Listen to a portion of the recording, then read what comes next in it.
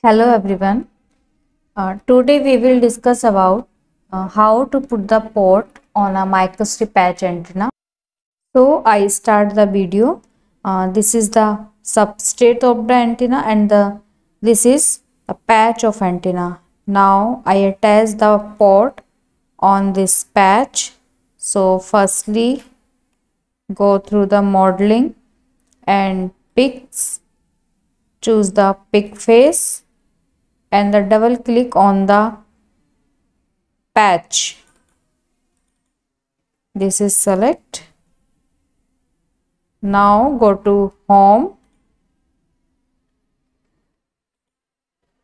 Then macros and solver.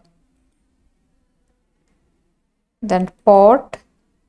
Then calculate port extension coefficient. Click on this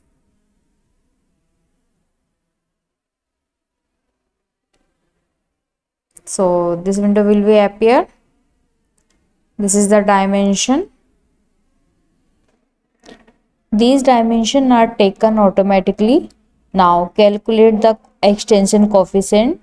So click on calculate and the value of k is 5.64 then this the k range vary from the 3.3 to 5.6 so now construct port from pick face click on this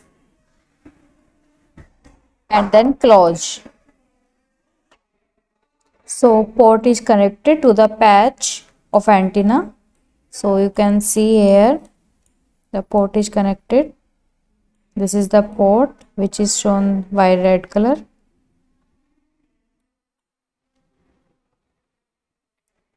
Now start simulation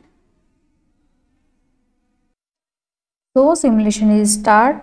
So this is the um, basic step to attach the port to the microstrip patch antenna. So thank you for watching the video. Like subscribe and share